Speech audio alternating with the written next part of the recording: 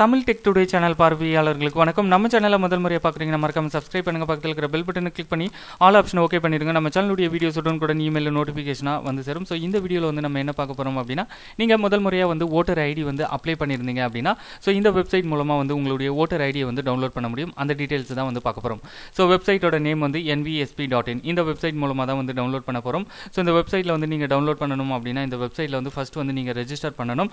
Already register பண்ணியிருந்தீங்க அப்படின்னா அந்த டீட்டெயில்ஸை கொடுத்து நீங்கள் லாகின் பண்ணி டவுன்லோட் பண்ணிடலாம். ஓகே ஃபஸ்ட் டைம் வந்து ரெஜிஸ்டர் பண்ண போகிறீங்க அப்படின்னா ஜஸ்ட் வந்து ரெஜிஸ்டர்ன்ற பட்டனை வந்து கிளிக் பண்ணுங்கள் அடுத்து வந்து don't have account register as new user so இதை வந்து கிளிக் பண்ணுங்கள் இந்த இடத்துல உங்களுடைய மொபைல் நம்பரை கொடுங்க. கேப்சாவை கொடுத்து சென்ட் ஓடிபி அப்படின்னு கொடுத்ததுக்கப்புறம் உங்களுடைய மொபைலுக்கு வந்து ஓடிபி வந்திருக்கும்.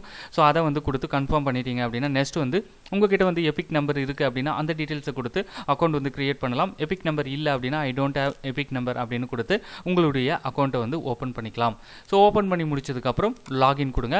ஸோ லாகினில் நீங்கள் என்ன இமெயில் ஐடி மொபைல் நம்பர் கொடுத்தீங்களோ அதை கொடுங்க. பாஸ்வேர்ட் கொடுங்க கேப்சா கொடுத்து லாகின் கொடுத்ததுக்கப்புறம் டேரெக்டாக வந்து உள்ளே போயிடுவீங்க. உள்ளே போயிட்டதுக்கப்புறம் வந்து இந்த இடத்துல வந்து உங்களுடைய எபிக் நம்பரை கொடுத்து சர்ச் பண்ணி ஃபைண்ட் அவுட் பண்ணலாம். இல்லைனா வந்து ரெஃபரன்ஸ் நம்பர் வந்து உங்ககிட்ட இருக்கும். அந்த ரெஃபரன்ஸ் நம்பரை கொடுத்து அந்த ரெஃபரன்ஸ் நம்பரை வந்து என்டர் பண்ணணும். அடுத்து வந்து உங்களுடைய ஸ்டேட்டை கொடுத்து சர்ச் அப்படின்னு கொடுத்ததுக்கப்புறம் உங்களுடைய ஓட்டர் ஐடியை வந்து நீங்கள் டவுன்லோட் பண்ணலாம். ஸோ இதுதான் வந்து ப்ரொசீஜர் ரொம்பவே சிம்பிள் டவுட் இருந்தால் கமெண்ட் செக்ஷனில் வந்து கேளுங்க.